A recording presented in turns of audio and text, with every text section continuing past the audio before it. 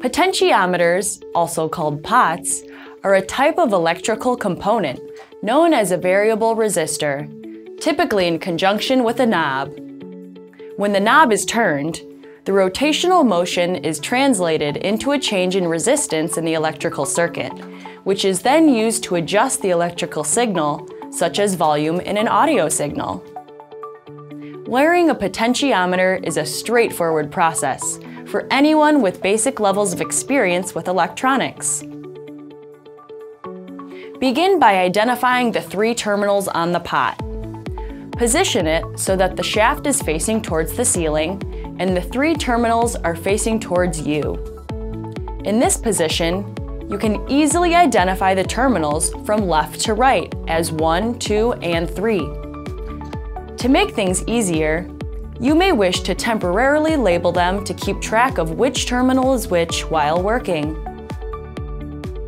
Next, you will ground the first terminal of the pot.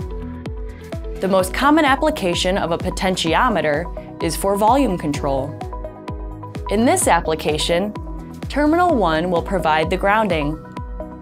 To do this, you will need to solder one end of the length of the wire to the terminal and solder the other end to the chassis of the electrical component. Measure the length of wire you will need to connect the terminal to a convenient location on the chassis and use a pair of wire snips to cut the wire to length.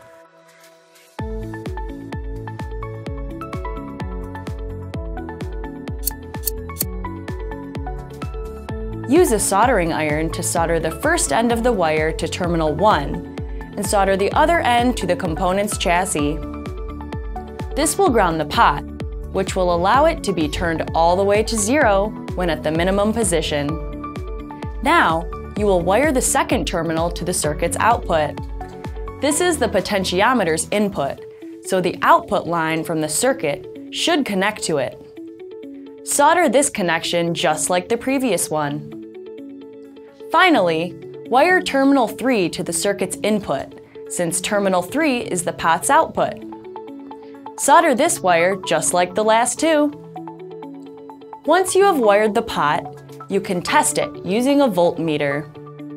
Connect the voltmeter's leads to the input and output terminals of the pot and turn the shaft. If done correctly, the reading on the voltmeter should change as the shaft is turned.